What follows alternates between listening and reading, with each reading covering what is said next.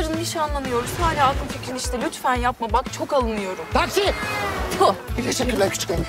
Devam. Vallahi toplantım var. Bu izi unutma. Sen gerçekten hiçbir şey mi hatırlamıyorsun? Zayıf karakterli bir insan olduğum için ikinci kadehte bozdum kendimi. Ay, ay, adam. Aa, ya bu nasıl bir diş çekme yöntemidir ya? Yüzüne ne oldu lan? Götüme dönmüş. Sen niye hala buradasın? Hamileyim.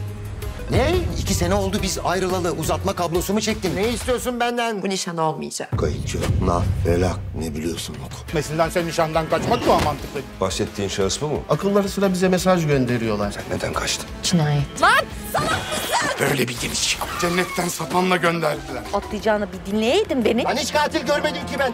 Kız ne ormanın içi medeniyet var şurada insan gibi gidiyorsun. Yaşlı bir adam yaşıyor. Ne oluyor lan burada? Evde yaşlı adam mı yaşıyor? Lan! Nereye gidiyoruz söyle. Aa buldum. Bizi kurtarsa kurtarsa o kurtarır. Kim? Bordo Bereli. Nereli? Kastamonu'nun Bordo Bere ilçesinde. Amca ben bulut. Gitti mis gibi mutfak robotu.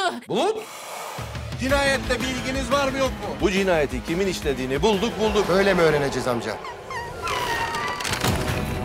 Rahmetlinin en yakınındaki insanmış bu menajer.